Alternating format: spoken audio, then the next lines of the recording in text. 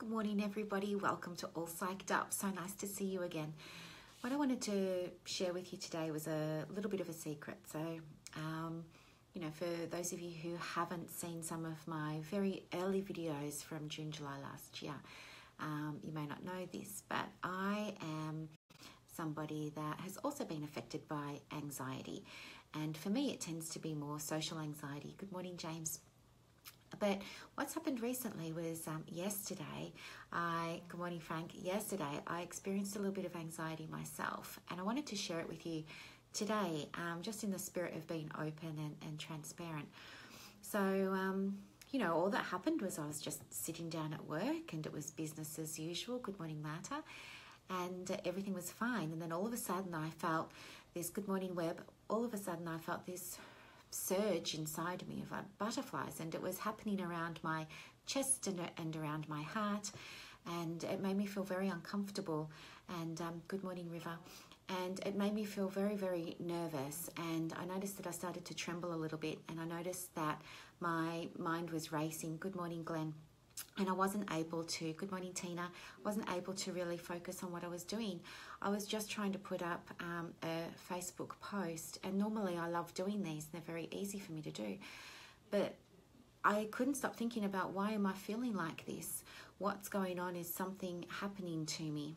Um, I tried to persevere and put the thought aside and just try and focus on what I was doing at the time. But the more I tried to do that, it seemed to me the worse that this um, became. Thank you, Glenn. That's very kind of you.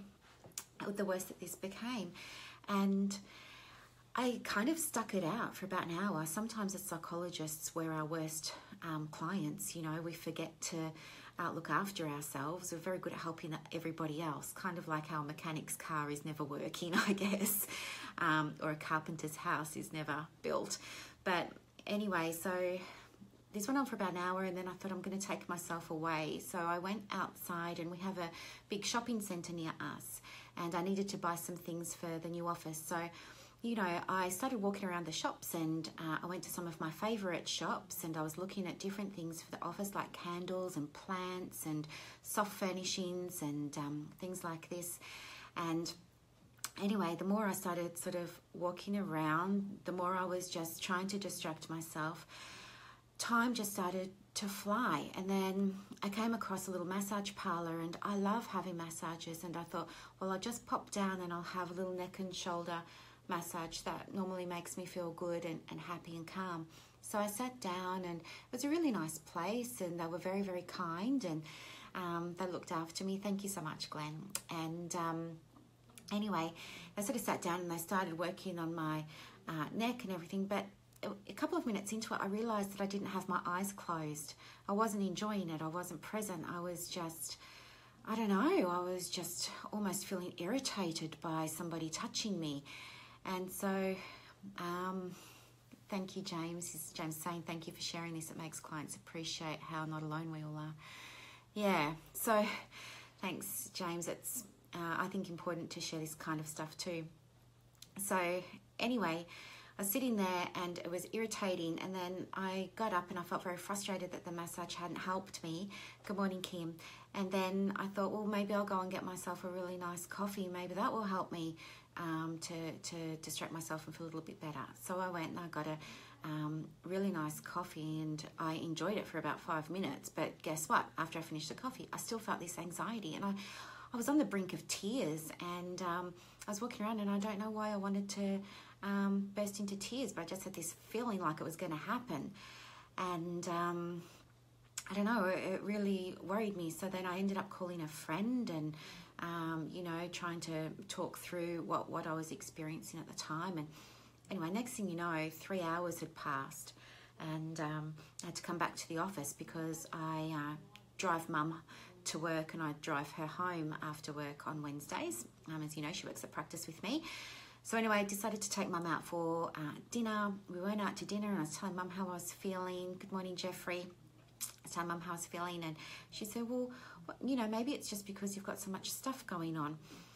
And anyway, we still couldn't get to the bottom of it and I was still feeling a bit mm, last night and I went home and normally I would just sort of sit down and spend some time with Gabe, the magical dog, and uh, everything would be good. So I spent some time with Gabe, it felt great. And then before I went to bed, I really wanted to get to the bottom of what was going on. And so I realized that I've not been doing a lot of the things that I do ask my clients to do. And that is to, you know, live a lifestyle that's going to promote health and wellness. I think over the last few weeks leading up to the opening of the new practice, I've been burning the candle at both ends. I haven't been looking after myself. I haven't been getting enough sleep. I've changed my diet. I haven't been getting enough exercise. I haven't been getting my downtime. And I think now that the, the new practice and the new location, it's all sort of coming together and we open on Thursday next week, which is only, you know, six days away. Um, I, I think what's happened is I don't need all the adrenaline anymore. And so now um, I'm starting to get a little bit nervous about things. So, yeah, um, that's right, Glenn. I'm just needing to ground myself, and I think that's all all it was. But the lesson for me, I think, was remembering that uh, routine for me managing my anxiety is essential. Um, so, you know, I've cut back my diary now. I'm um, I've gone and enrolled in uh, my hiking again. I've made time to catch up with my friends this week and I just try really hard to get this balance back in place. And I think that's what's going to help me. So, you know, I don't know what really helps you. Um, I'd love to hear what helps you guys uh, when you have moments of anxiety or you have moments of, of nervousness and, and what works for you. You know, I think maybe sometimes the value is in learning together and sharing our experiences. Uh, that's how we grow, isn't it? If we don't have these situations in our lives and life is easy, we don't learn and we don't grow and we don't develop.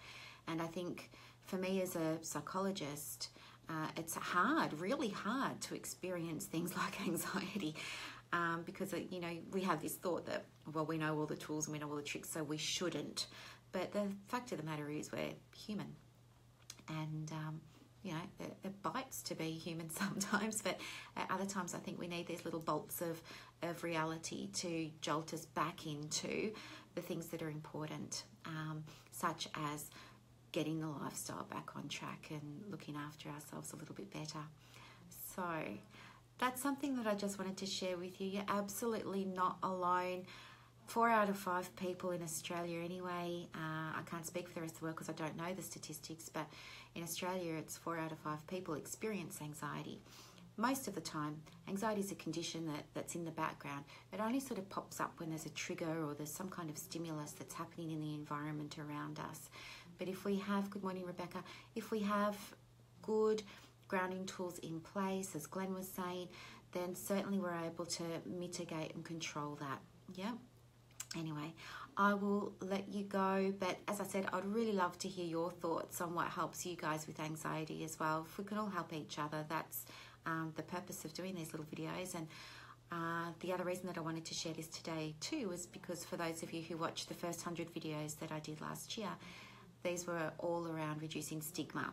So if I don't talk about this, then I'm not helping to reduce stigma, am I?